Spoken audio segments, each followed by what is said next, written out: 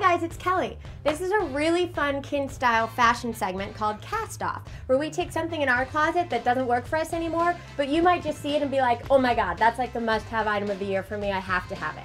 So, my cast off item is this lovely red cape. Um, I am a scarf junkie. I wear scarves pretty much every day of the week. Everyone knows that about me. But for a little while, I thought, okay, I gotta switch up the scarves. I wear one too often. So I got into this cape phase. And I found this one. I thought, wow, it's red, it's warm, it's cozy. It's got these great ruffles. It's a good color. It'll pop with my hair. And now it's just totally not working for me. I feel like Little Red Riding Hood, like galloping through the forest with a wolf chasing me.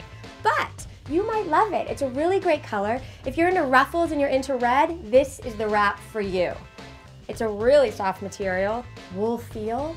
It's 100% acrylic, so if you're allergic to wool like I am, you're good to go. It's a good wrap. It doesn't work for me, but it's definitely gonna be a must-have for somebody out there. Is that you? Do you want it? Here's how you get it. Leave a comment below, give us your best argument, tell us why you want it, and we'll select a winner and send it to you, free. But here's the catch. Every good thing has a catch, right? If you win this red cape, you have to take a video of yourself wearing it and then upload the video to this page. That way we get to see how great it looks on you.